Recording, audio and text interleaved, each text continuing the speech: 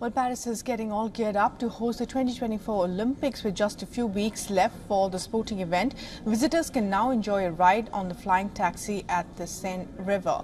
Now, the French government has uh, given a go-ahead for the construction of a floating landing pad. The landing site for flying taxis will be set up on the river near the Austerlitz uh, railway station in southeastern Paris.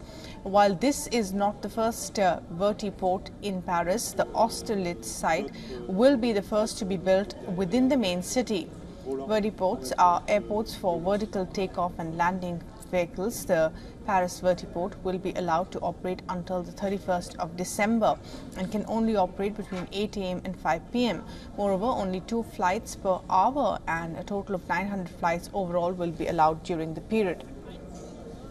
Meanwhile, many city officials are against the idea of flying taxis. They believe flying taxis will lead to a rise in noise pollution, greenhouse gas emissions and excessive energy consumption.